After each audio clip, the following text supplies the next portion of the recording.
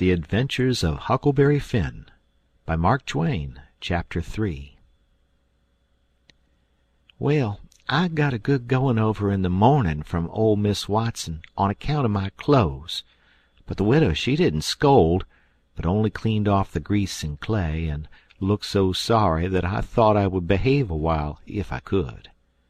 Then Miss Watson she took me in the closet and prayed, but nothin' come of it. She told me to pray every day, and whatever I asked for I would get it. But it warn't so. I tried it. Once I got a fish line, but no hooks. It warn't no good to me without hooks. I tried for the hooks three or four times, but somehow I couldn't make it work. By and by, one day, I asked Miss Watson to try for me, but she said I was a fool. She never told me why, and I couldn't make it out no way. I set down one time back in the woods and had a long think about it. I says to myself, if a body can get anything they pray for, why don't Deacon Winn get back the money he lost on pork? Why can't the widow get back her silver snuff box that was stole? Why can't Miss Watson fat up? No, says I to myself, they ain't nothin' in it. I went and told the widow about it, and she said the thing a body could get by prayin' for it was spiritual gifts. This was too many for me, but she told me what she meant. I must help other people, and do everything I could for other people, and look out for them all the time, and never think about myself. This was including Miss Watson as I took it. I went out in the woods and turned it over in my mind a long time but I couldn't see no advantage about it, except for the other people. So at last I reckoned I wouldn't worry about it any more, but just let it go. Sometimes the widow would take me one side and talk about Providence in a way to make a body's mouth water. But maybe next day Miss Watson would take hold and knock it all down again. I judged I could see that there was two Providences, and a poor chap would stand considerable show with the widow's providence, but if Miss Watson's got him, there warn't no help for him any more.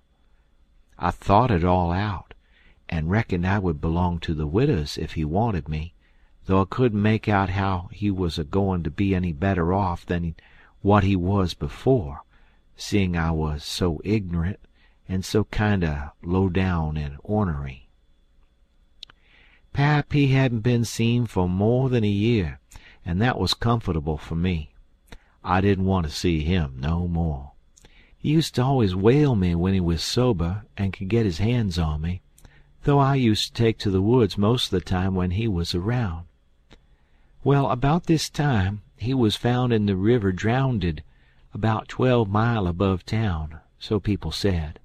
They judged it was him anyway, said this drownded man was just his size, and was ragged, and had uncommon long hair, which was all like pap, but they couldn't make nothin' out of the face, because it had been in the water so long it warn't much like a face at all. They said he was floatin' on his back in the water. They took him and buried him on the bank. But I warn't comfortable long, 'cause I happened to think o' somethin'. I knowed mighty well that a drownded man don't float on his back, but on his face. So I knowed then that this warn't pap, but a woman dressed up in a man's clothes. So I was uncomfortable agin. I judged the old man would turn up again by and by, though I wished he wouldn't. We played robber now and then about a month, and then I resigned. All the boys did. We hadn't robbed nobody, hadn't killed any people, but only just pretended. We used to hop out of the woods and go chargin' down on hog drivers and women in carts, takin' garden stuff to market, but we never hived any of 'em. Tom Sawyer called the hogs ingots, and he called the turnips and stuff joolery, and we would go to the cave and powwow over what we had done and how many people we had killed and marked. But I couldn't see no profit in it.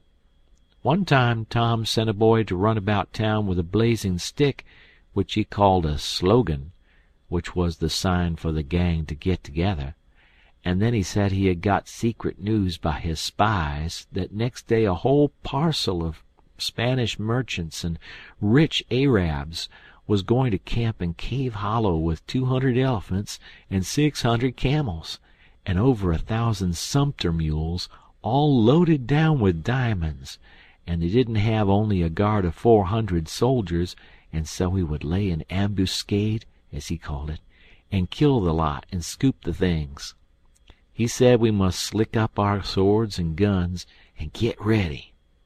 We never could go after even a turnip cart but he must have the swords and guns all scoured up for it, though they were only lath and broomsticks, and you might scour at them till you rotted, and then they warn't worth a mouthful of ashes more than what they was before.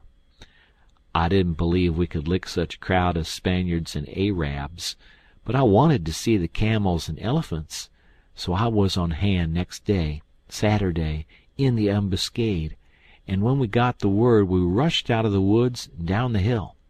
But there warn't no Spaniards and Arabs, and there warn't no camels nor no elephants. It warn't anything but a Sunday school picnic, and only a primer class at that.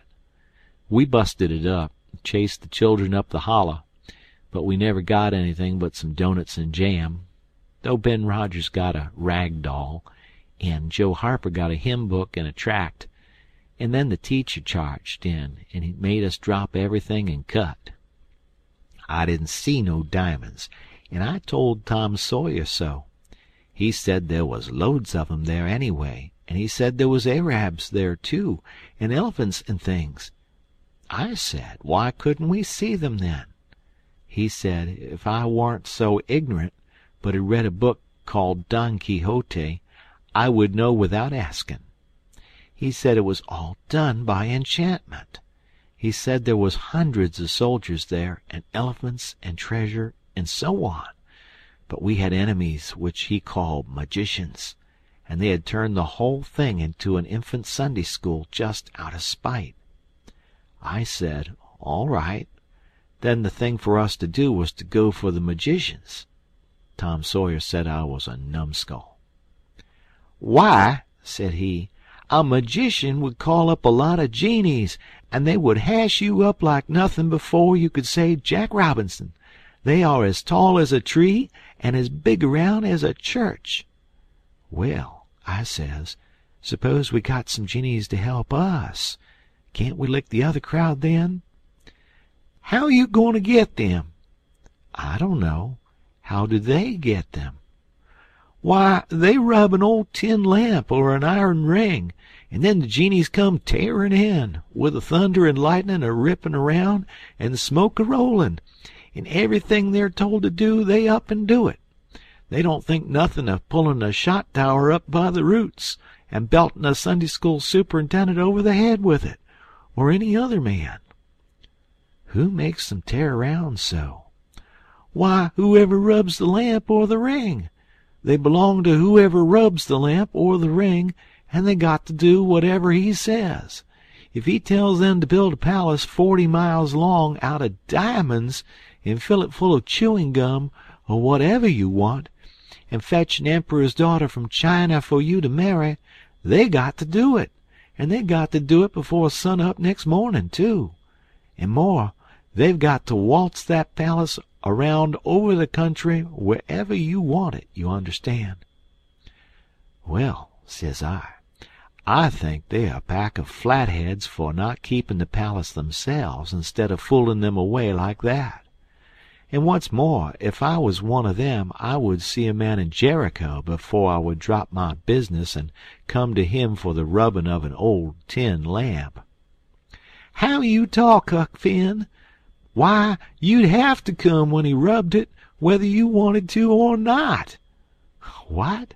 And I as high as a tree and as big as a church? All right, then, I would come, but I'd lay I'd make that man climb the highest tree there was in the country. Shucks, it ain't no use to talk to you, Huck Finn. You don't seem to know anything, somehow.